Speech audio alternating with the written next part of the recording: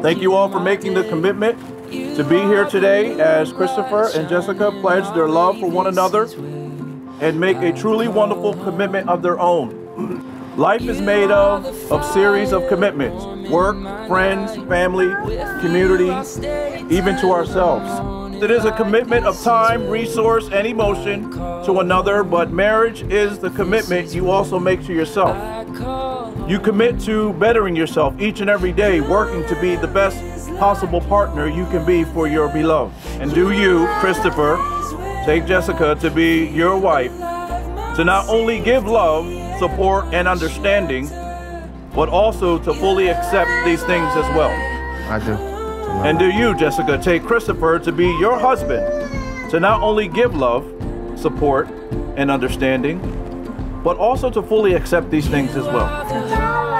Mr. and Mrs. Perez, you may now enjoy your first official married kiss.